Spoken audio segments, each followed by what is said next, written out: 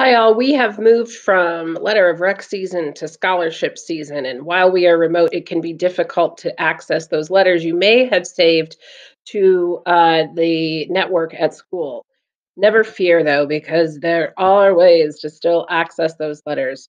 If you go into Naviance and click on the student you want to augment a letter for for a scholarship purpose, you can then go uh, to student info after you've clicked on their name when you get into student info, you'll see the tab that says eDocs, which has a saved copy of your letter of rec.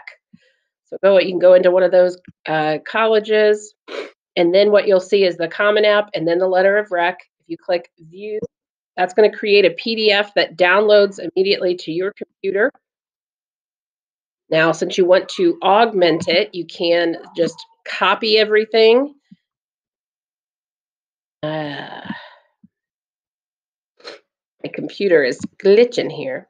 So you can copy everything, control A then creates a control all, and then control C is copy, and you could paste it into a Google Doc and then uh, augment it from there. It can save you a little bit of time. The formatting is going to be a little funky because you're pulling a copy from a PDF to a doc, but that's a lot easier than rewriting everything. So um, you can just uh, change it from there. Again, this is just accessing letters of rec on Naviance. Take care.